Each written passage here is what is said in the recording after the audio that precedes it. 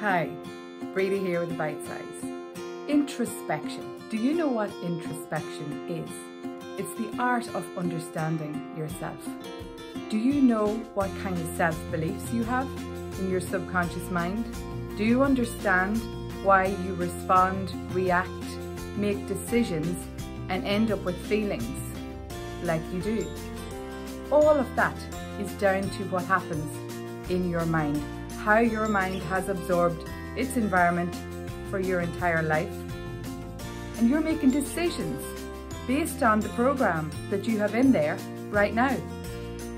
The fastest way to figure out what is in that program in your mind right now is self-talk. That is the biggest clue ever.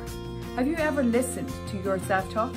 The words you use, how you reprimand yourself, how you rationalize the decisions that you're making.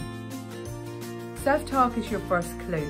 Today, during your busy day, as you go, try to catch the thoughts you're having and the self-talk that you're doing because most of it's unconscious until you become aware of it.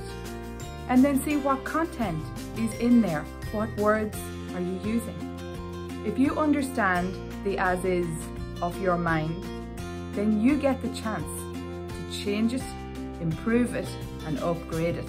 And that leads to a much healthier, better quality, high caliber way of living for you and for those around you.